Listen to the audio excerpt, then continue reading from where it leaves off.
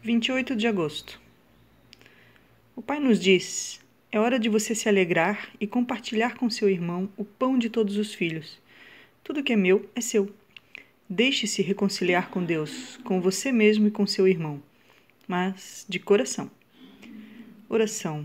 Perdão, Senhor, eu não sei viver. De meus irmãos eu me separei.